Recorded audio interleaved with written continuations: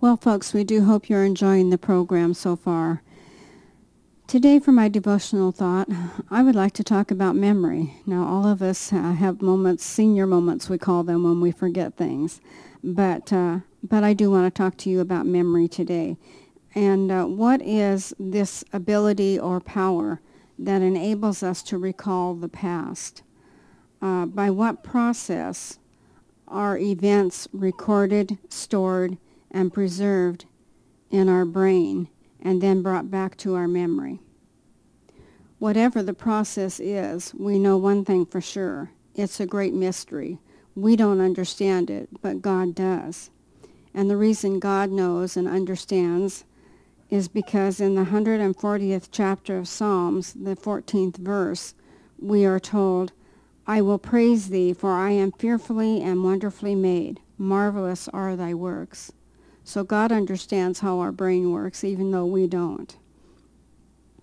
Memories can bring great joy. Uh, they can bring a smile to our face when we think of uh, things from the past. We think of family get-togethers. We think of fun events. And uh, they just bring happiness to us when we think about those things.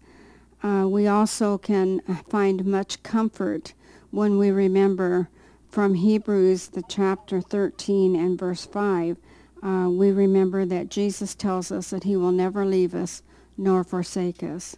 So memories can bring comfort, happiness, smiles. But you know, memories can also bring something else. They can bring sadness, and memories can be very hurtful because of things that uh, maybe we've done in the past or someone else has said or done to us uh, when we remember those things, we become sad and we're hurt. But there is a way to have those memories erased. And that is through coming to the Lord Jesus Christ and asking his forgiveness and asking him to take away our sins and help us to have happy thoughts when we ask for his forgiveness, he forgives and he blots out our sins to be remembered against us no more. So if you are hurting and sad when you remember things, turn to Jesus and remember that he forgives and doesn't remember those sins against us anymore that bring us so sad and hurtful memories. You may not be able to forget the past, but God does, and I'm so thankful for that. And I want to leave you with this thought.